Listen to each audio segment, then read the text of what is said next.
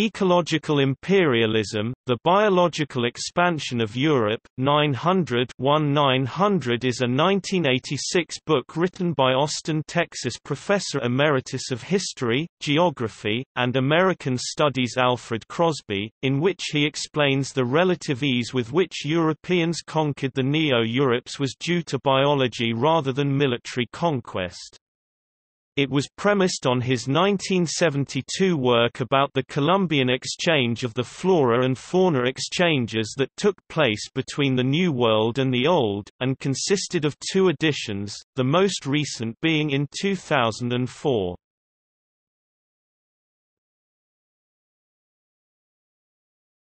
Topic: Contents Crosby begins by pointing out that the populations of what he calls the Neo-Europes of temperate zones are primarily composed of European descendants. He asks why there are such large concentrations of Europeans in these lands which are so distant from Europe. Furthermore, why have these locations been able to routinely produce large food surpluses and why are many of the countries located in these regions able to consistently be among the world's largest exporters of food? Although Europeans as a whole were reluctant to leave the familiarity of their homelands to start a new life abroad until the early 19th century, the Neo-Europes experienced a great influx of European settlers between 1820 and 19 1930. According to Crosby, this mass emigration was caused by conditions within Europe at the time, such as population explosion and a resulting shortage of cultivable land, national rivalries, persecution of minorities. Alongside the application of steam power to ocean and land travel. But what was so appealing about the Neo-Europes to warrant being selected as the primary locations for European expansion? Crosby's explanation for the success of European imperialists is biogeographical. Europe and the Neo-Europes all share similar latitudes. That is, Europe and the Neo-Europes all completely or at least two-thirds in the temperate zones, north and south, which is to say that they have roughly similar climates. This is significant because the plants and animals Europeans have traditionally relied upon for sustenance tend to require a warm to cool climate that receives 50 to 150 centimeters of annual precipitation to flourish. Therefore, just as farming was able to spread from the Fertile Crescent, east and west, without much difficulty, replacing the hunter-gatherer lifestyle along the way, so was it able to in the Neo-Europes. But before this could take place, because the indigenous flora and fauna in the Neo-Europes were different from those located in Europe, the foreign biota brought to the New World by Europeans would have to compete with the local ones to survive. This would ultimately result in the complete devastation of the native floras and faunas. Crosby says, the regions that today export more foodstuffs of European provenance, grains and meats, than any other lands on Earth had no wheat, barley, rye, cattle, pigs, sheep, or goats whatsoever 500 years ago. Rather than give credence to claims of innate European superiority and the like, Crosby explains the relative ease with which Europeans conquered the Neo-Europes as being a product of biological and ecological processes. One of the major contributors to European domination was disease, which is a natural byproduct of human interaction with animals. Consequently, when Europeans shifted from being hunter-gatherers to being farmers who settled in large, stationary communities and domesticated small animals, they exposed themselves to conditions that engendered diseases that would later assist them in conquering the Neo-Europes.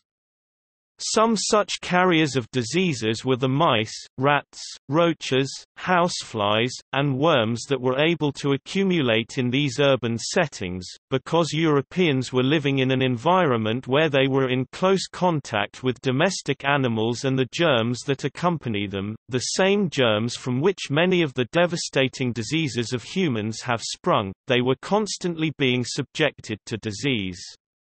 And though millions of lives were lost when diseases like the Black Death ravaged Europe during the Middle Ages, a natural consequence of these frequent epidemics was a population that had built up a resistance to these diseases. Each epidemic would spare some individuals who were biologically more capable of resisting the virus.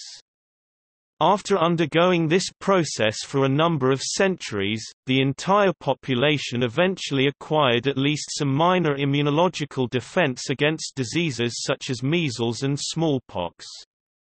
Crosby addresses the first subjugation of lands nearest Europe, in his chapter entitled, The Fortunate Isles, which documents the history of the European waves of attacks on the Azores, Madeira Islands, and Canary Islands to bring them under European suzerainty, and their earliest efforts to enslave their populations and restructure their wildlife, p.70-103,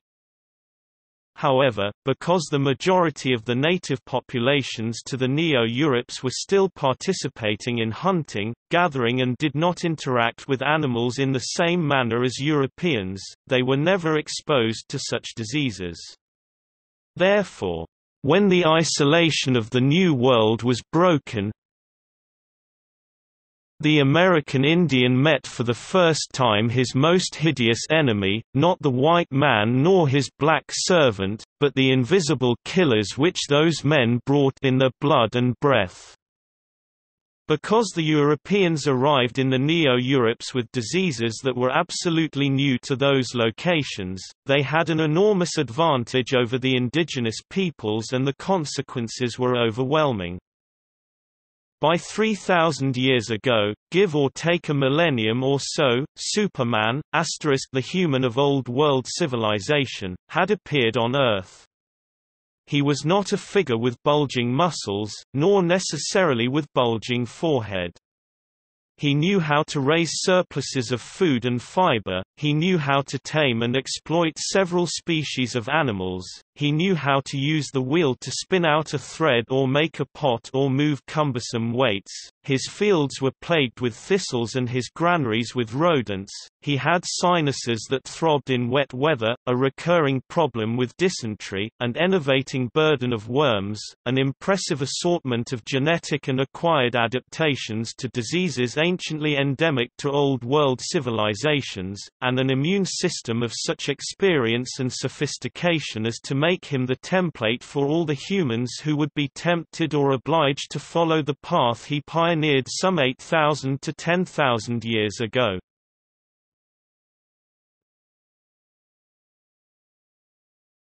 Topic: Legacy In 2007, two Canadian authors applied the term to the Canadian North.